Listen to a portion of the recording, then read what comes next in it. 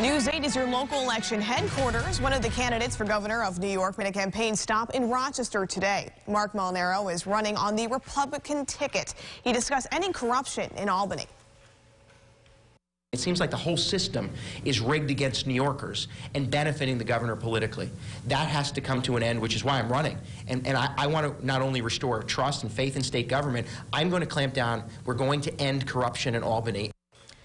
Molinaro faces Democratic incumbent Governor Andrew Cuomo, Green Party candidate Howie Hawkins, independent candidate Stephanie Miner, and Libertarian candidate Larry Sharpe.